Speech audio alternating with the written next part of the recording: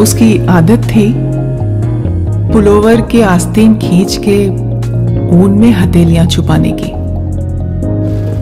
चीख मारती थी तो एक साथ तीन।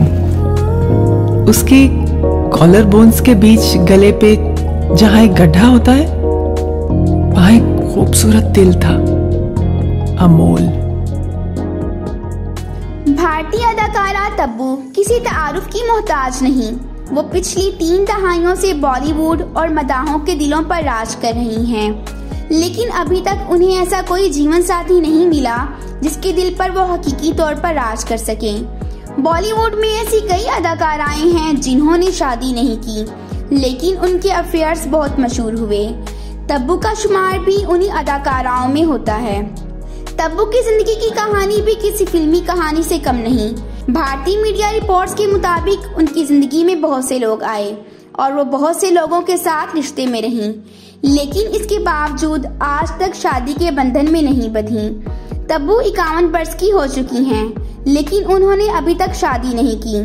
तब्बू की लव स्टोरीज का ज़िक्र किया जाए तो उनकी ज़िंदगी में आने वाले पहले शख्स का नाम संजय कपूर था। दोनों ने फ़िल्म प्रेम के दौरान एक दूसरे को डेट करना शुरू किया। संजय कपूर और तब्बू का ये रिश्ता ज़्यादा देर तक कायम नहीं रह सका और जल्द ही दोनों अलग हो गए।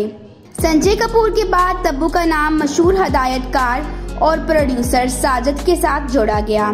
साजद और तब्बू का अफेयर उस वक्त शुरू हुआ जब वो अपनी अहलिया दिव्या भारती के जाने के सदमे में मुब्तला थे।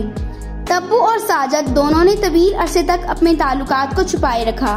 जब उनके अफेयर की खबरें मंजरी आम पर आईं तो कुछ दिनों बाद दोनों ने अलीहदगी इख्तियार कर ली और दोनों के दरमियान ब्रेकअप हो गया। सादत से ब्रेकअप के बाद साउथ के तजुर्बाकार, अदाकार नागार्जन तब्बू की ज़िंदगी में आए। कई मीडिया रिपोर्ट्स में ये दावा किया गया कि तब्बू का नागार्जन के साथ 10 साल से ज़्यादा का मुआशका चला। नागार्जन पहले से ही शादीशुदा थे। नागार्जन के साथ 10 साल तक ताल्लुकात में रहने के बाद उन्हें एहसास हुआ कि वो अपनी बीबी को नहीं छोड़ सकते।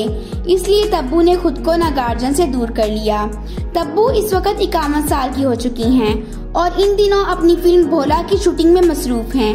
इस फ़िल्म में तब्बू और अजय देवगन फ़िल्म दृश्यम टू के बाद एक बार फिर स्क्रीन पर नज़र आने वाले हैं। Have you ever told her that कि तब्बू जी आप सेटल डाउन करिए because you are such good friends ऐसे हुआ है? अरे मुझे ही ब्लेम करती रहती है मैं नहीं बोलता ये सब। आप उनको क्यों ब्लेम करती रहती हैं? हाँ उनको क्यों ब्लेम करती हैं आप?